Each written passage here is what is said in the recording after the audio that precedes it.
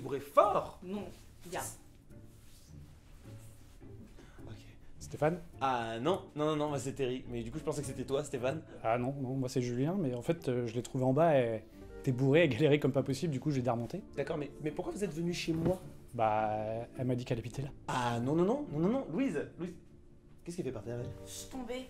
D'accord, ok, bon. Euh, euh, Louise, écoute, je pense que là, il faut que tu rentres chez toi, d'accord Je le connais. C'est Thor. Euh, c'est pas Thor. C'est Spider-Man. Bon, non, Louise, Louise, Hmm. t'es bourré, donc là, il faut que tu boives de l'eau et que tu rentres chez toi, d'accord? Bah, je, je suis, je suis là maintenant. Raconte-moi une histoire. Il est sympa, il va t'accompagner. Non, et lui non plus, il connaît pas l'histoire de Spider-Man. Sérieusement? Tu connais pas l'histoire de Spider-Man? Moi j'aimerais bien savoir l'histoire aussi, ouais. Sérieusement? Chelou, vous Ok.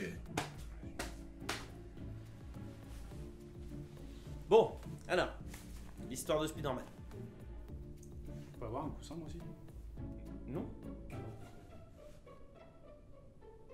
Ok. Spider-Man, ou de son vrai nom, Peter Parker. Donc comme les autres fois, je te donne l'historique de sa création et après on passe à ses pouvoirs, tout ça, tout ça. Spidey a été créé par Stan Lee et le dessinateur Steve Ditko. Oui, encore eux, Louise. Il est apparu pour la première fois dans le comics Amazing Fantasy, issue 15, en 1962. En France, la toute première fois, c'était bien plus tard, en mai 1969. En ce qui concerne son histoire, Peter Parker est le fils unique de Richard et Mary Parker. Ses parents sont tués en travaillant sous couverture pour le gouvernement. Oui, en fait, ses parents étaient des espions du Shield. Donc, une fois ses parents tués, il devient orphelin à l'âge de 6 ans. Peter est confié à son oncle et sa tante, Benjamin et May Parker. Je vais pas te spoiler, mais bon, tu connais forcément la fameuse tante May et oncle Ben. Et non, ça n'a rien à voir avec la marque de riz.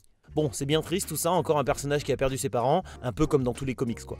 Mais comment a-t-il eu ses pouvoirs? Je risque de te spoiler un peu, mais théoriquement tu devrais connaître cette histoire. Il a été mordu par une araignée radioactive. Cette morsure va lui donner des abdos et des super pouvoirs. Il a une force et une agilité surhumaines, la capacité de se coller au mur, enfin coller à quasiment tout en vrai. Il a aussi un sens d'araignée qui lui permet de voir venir des dangers en approche. Mais au-delà de ça, c'est un gosse supra intelligent. Il est expert en sciences appliquées, en chimie, en physique, biologie, maths et mécanique. Alors il y a des rumeurs qui racontent qu'initialement il n'aurait jamais dû exister sous ce nom.